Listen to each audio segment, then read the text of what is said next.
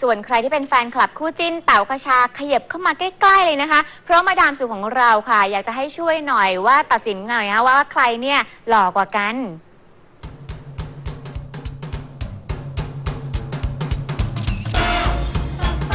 มองไกลๆมาดามก็นึกว่าไอ้หนุ่มผมทรงกะลาครอบอย่างหนุ่มคชา AF น่ะ มีฝาแฝดซะอีกนะคะ ก็แหม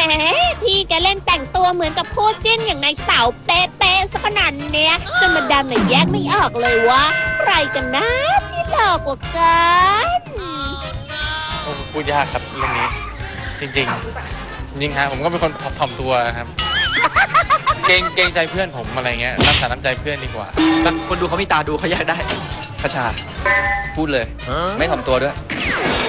จริงพูดว่าตัวเองหล่อกว่าอย่างเนี้ย จริงไม่จริงมาดามไม่รู้คงจะต้องขอให้แฟนคลับช่วยเป็นกรรมการตัดสินหน่อยก็แล้วกันนะคะ